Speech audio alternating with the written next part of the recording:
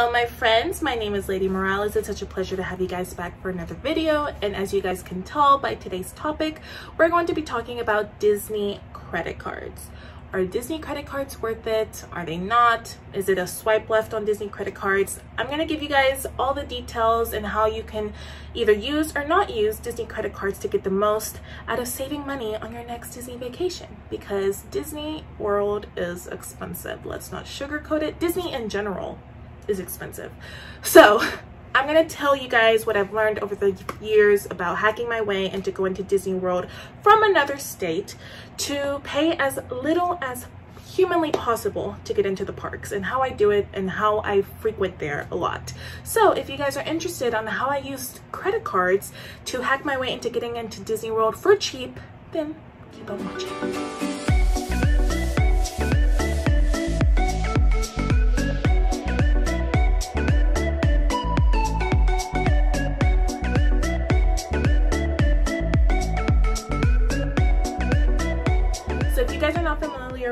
Card churning.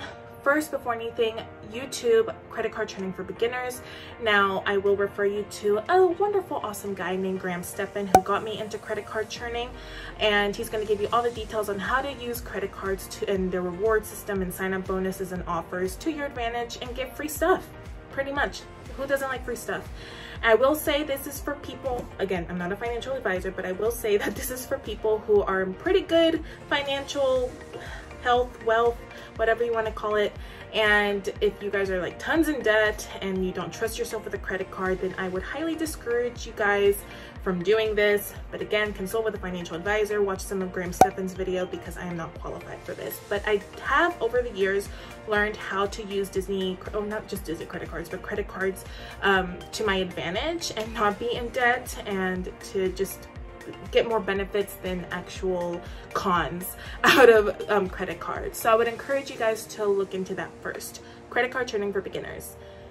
Now today we're going to be talking about Disney's credit cards. Disney has partnered with Chase Bank to create two signature credit cards. They have the Disney Rewards, which is just a basic credit card. There is no annual fee and you do get 1% back in purchases for the most part also for the most part from what I've seen is if you open up a Disney credit card you do get a $50 statement on your first um, credit card bill or credit card statement um, that you can use and again you don't have to do anything there's no spending limit or spending deadline to get this bonus it's just free $50 just for opening it up. And I actually started with this one when I first started building my credit a few years ago. And I mean it was like I said, it's basic. It's the basic Disney Rewards card. Now, the one that I have now is the Disney Premier Visa, and it's almost a, and there's a, an almost $50 annual fee for getting the, Dis, um, the Disney Premier Visa, and you do get 2% back. Um, now, there are some exclusions. There's other things that you still get 1%, but you have more opportunities to get 2% back on certain purchases. I will say for both Disney cards, you do get 2% back for for spending anything related to Disney. And whether it be Disney Park, Shop Disney, you still get 2% back um, in, in, in rewards or in money.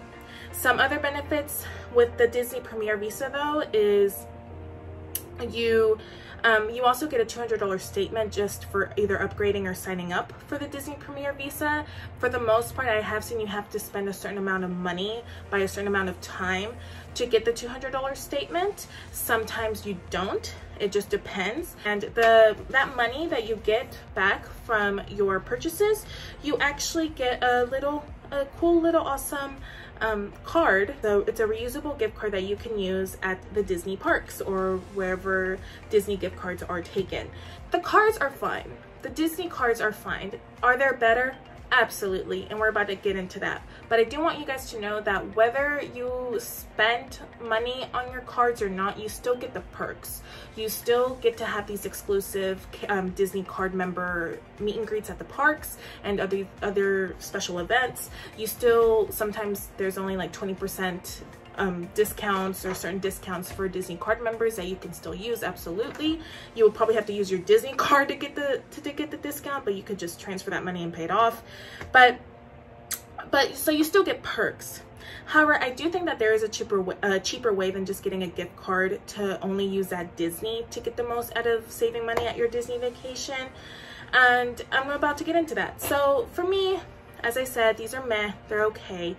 I think because I live in Atlanta and I do like to travel to Disney a lot, you know, plane ticket, I like to, I this is me being bougie. I guess you could judge me all you want.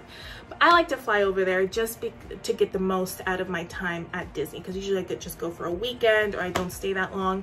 I use uh, travel cards, travel credit cards to to pay for either my flights, hotel stays, discounts uh, for Disney. I don't use Disney cards because again, I've purchased so much on these cards and I put bills on these cards and paid them off and I still just don't think I get the most out of the of of it of these of the usage of the of these gift cards and honestly like I've even run into situations at Disney where the gift card options weren't even working so I had to pay out of pocket anyway if you guys are asking what travel credit cards I use, first before anything, I use the Delta Sky Miles Gold Medallion card. And with the Delta card, you get 60,000 points or 60,000 um, miles of worth of flight that you can use for Delta. And the same thing with American Airlines. I also got the same thing with American Airlines. And those have lasted me a while and I've been able what I've been doing is I've been I just put like all of my bills and all of my my to to purchases to pay for stuff and bills on the uh, Delta card and then I just transfer the money from my checking account and pay it off at the end of the month. And that's how I start racking up these these points and I like I recently just went to Disney World and I did not pay one dollar for a flight ticket. So not only that but there's another travel card that Chase offers is called the Chase Sapphire Reserve that you can use not only on flight but on hotels as well which I've heard a lot of people have used it on Disney hotels and have gone to, um, to stay there for little to nothing and to, to stay at Disney resorts. I personally think that's a better option if you want to get the most out of it. Now, I still recommend that you guys, if you can, again, I'm not a financial advisor, consult with a financial advisor first but if you guys want to get travel cards like the chase sapphire or the delta gold medallion card and then still get a disney credit card to still get 20 percent off on oh, i'm sorry to still get 10 percent off on purchases over 50 dollars and to still get money back and use um, get the gift card to use at disney that's a, an amazing way to go and that's kind of the way i do it. And of course i still get to reap the benefits and the perks of having a disney card without ever really using it. So so you don't have to spend or have a, you don't have to have a certain spending um, limit or a certain spending amount to use your perks on your Disney credit cards, but I do think that is probably the way to go.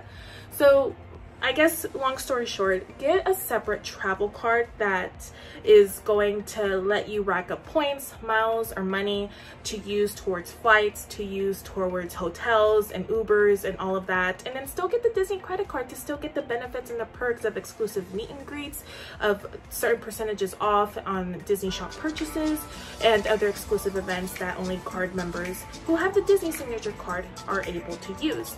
And that's how you get the best of both worlds. So for the most part, if I'm trying to use this specific card to get the most out of my Disney um, savings when it comes to Disney World, you're not going to get much out of it. Let's be real. Let's be honest. This is completely unbiased.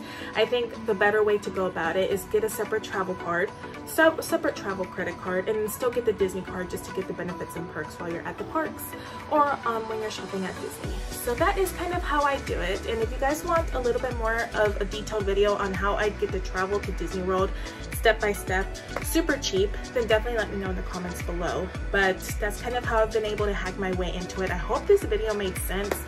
And as far as getting signing up for Disney card, I mean, if you're responsible, if you're familiar with credit card churning, then I would encourage it just simply for the benefits and the perks. But I don't think you're gonna get the most out of saving a lot of money at Disney World because again, y'all, Disney World is expensive. And, and we in a pandemic, ain't nobody got time for that. so, all right. I hope you guys have an amazing day. I hope you guys are staying safe. And if you guys have any other questions or comments or feedbacks, let me know in the comments below. And I will talk to you on the next one.